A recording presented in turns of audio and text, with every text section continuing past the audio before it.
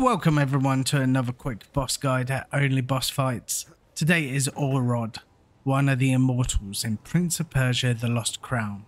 Orod seems to be the powerhouse of the immortals and you will meet him during the celestial quest in the Raging Seas area. Not bad, kid. You managed to get here. A fight between two immortals, and no one to see it. Let's get this over with.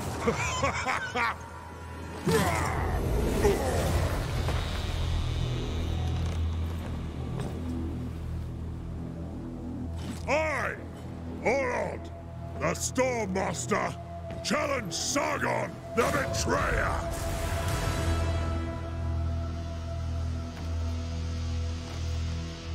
Show me the true spirit of the Rashomon.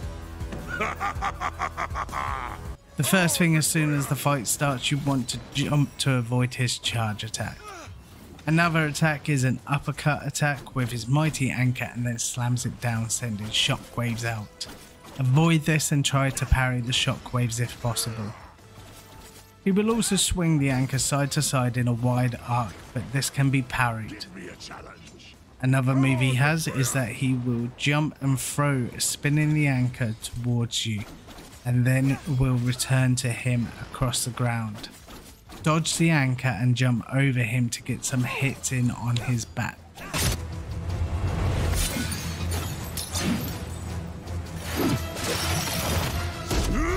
Come on, give me everything you've got. At the beginning of phase 2, Orod will have a cutscene of him splitting his anchor and having chains on it. His first attack will be a short shockwave punch and then jump spinning the anchors around him and then charge down with them onto you if you don't dodge them. Another move signaled by wind coming to him is where he spins the anchors around him and if stuck in the circle where these anchors are you get hit multiple times. When there's a short animation this signals his charge attack and he throws the anchors up in the air diagonally from himself. You want to jump and dash to stay in the air the longest possible. And when you land between attacks, you want to jump and dash again to avoid the second attack. After this attack, he will be down for a bit and time to get as many hits in on him as you can. Also during this phase, Orod will also have an enhanced charge attack where he slams his anchors into the ground and then pulls himself across the arena. The final extra move he has will be that he summons a tornado. When you see this, get as close to him as you can, drop a shadow and run for the edge of the arena. Use the shadow before the tornado hits you and get some hits in again. Orod at phase 3 will power himself up with electricity and turn green. If hit with electricity, you will not be able to use your Athra Surge, for a cooldown timer will be added to it, locking it out. Watch out because all previous moves now have an electric attack added to it. If you follow this, you should be able to take down the hulking immortal and come out victorious. Till next boss fight, happy gaming.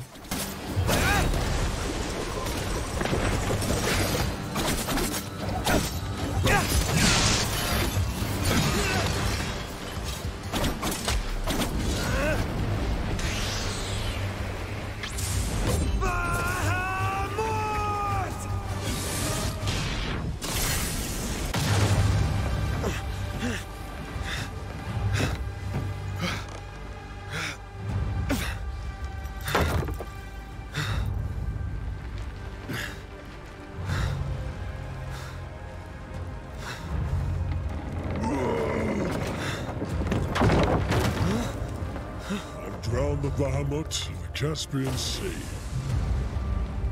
Crossed the Hell Bridge of Chinvat a bet.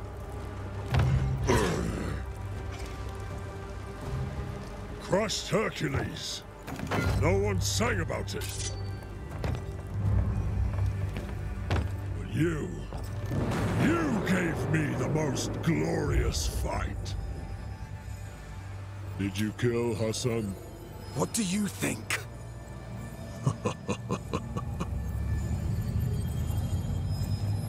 Don't fight the current. Learn to sail in high winds, kid.